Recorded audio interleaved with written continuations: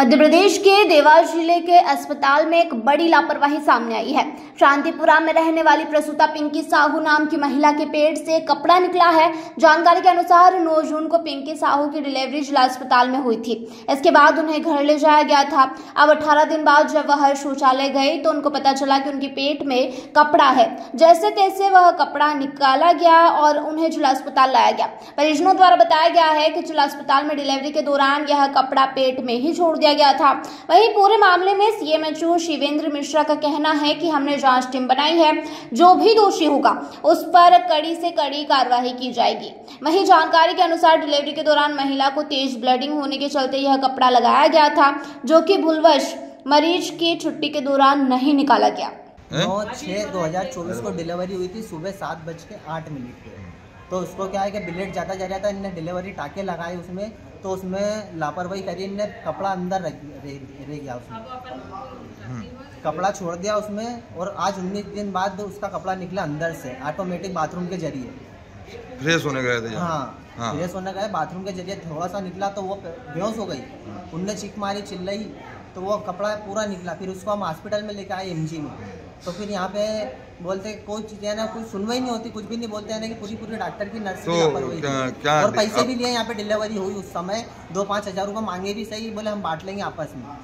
और दिए भी थे मैंने खुद ने दिए जेब से। अच्छा नॉर्मल डिलीवरी हुई थी नॉर्मल हुई थी। अब वो ये जानकारी हमको नहीं मालूम है ये तो नर्स अंदर जेंट्स को जाने नहीं देते हैं लेडीज़ के साथ किसी हम्म। को। अब वो अंदर उनने क्या करा क्या नहीं करा कैसे क्या डिलीवरी करी ये हमको कुछ भी नहीं मालूम। क्या मानते हैं? एक बड़ी लापरवाही ये बहुत बड़ी लापरवाही है तो चलो मेरी मिसेस के साथ हुई कल से मान लो खुदा ना खास्ता दूसरे के साथ भी हो सकती है। क्या नाम है आपकी मिसेज का? पिंकी साहू। कहाँ रहते हैं? ये शांतिपुरा में रहते हैं देवास में। अब आगे क्या है? अब आगे तो करना पड़ेगी लापरवाही कुछ हुई है इतनी बड़ी तो? सुमित साहू नाम डिलीवरी हुई थी इसको नौ तारीख को। हाँ फिर? नौ तारीख को डिलीवरी हुई थी इसमें टाके आए थे। सात आठ आके आए उसको। फिर इसमें ये कपड़ा है ना उन्नीस उन्नीस तारीख है आज कपड़ा निकला उस बात लेटरिन गई तो। लेटरिन गई तो कपड़ा लटक रहा। थोड़ा थोड़ा दिख रहा है तो इनने समझे कि कुछ धागा वागा होएगा कुछ होएगा तो थोड़े थोड़े खींचती रही खींचती रही वो। फिर वो एकदम से खींचा तो पूरा कपड़ा फिर रोने लगी बेहोश हो गई वो। हम घबरा गए सब। फिर हमने इसको लेके नीचे आए। फिर वो उनके भाभी थे उनने पूरा कपड़ा निकाला अंदर से।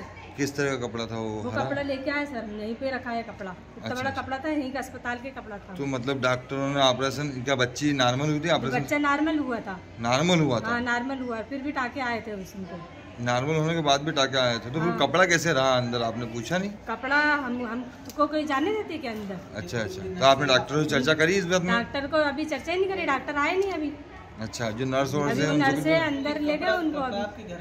कपड़ा हमारे घर का कहाँ से कपड़ा? हॉस्पिटल का कपड़ा ही हमारे घर का कपड़ा तो हमने दिया ही नहीं थे उनने हॉस्पिटल के कपड़ा रखा था। क्या नाम था जिनकी डिलीवरी हुई है? पिंकी नाम थी उनके। पति का नाम?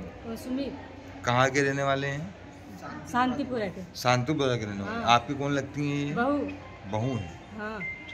हम कोई उसके पास बैठने को तैयार नहीं इतनी बदबू आती थी चार से देख से घर में बीमार हो गए। कोई बच्चे जाने को तैयार नहीं। हमने क्या पता ये क्यों ऐसा कर रही है? अच्छा, दिखा दे थोड़ा प्राइवेट तो में। यहाँ से आप छुट्टी कराए घर ले गए थे हम आठ रोज में गए थे।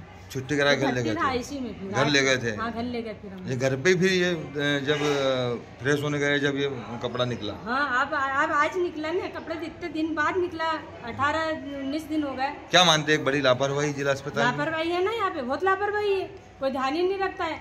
वो बच्चे रूम में तो बिल्कुल भी ध्यान नहीं रखती है लेडीज़ में ऐसी पटक देती है और लेडीज़ को गाली देती है चिल्लाती है।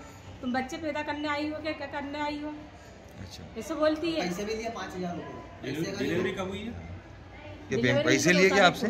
पैसे लिए क्या आपसे? नौ तारीख को आपसे पैसे लिए क्या दीदी? पैसे लिए क्या आपसे यहाँ पे? पैसे लिए उन्होंने अपना बच्चे बच्चे की सुरक्षा के लिए अपन ने कितने पैसे? अपन ने कि चलो ये कर रही है कर कितने पैसे? तो उनको दे दिए अपन ने। कितने पैसे दिए? दो हज़ार रुपये दिए। किसको दिए थे?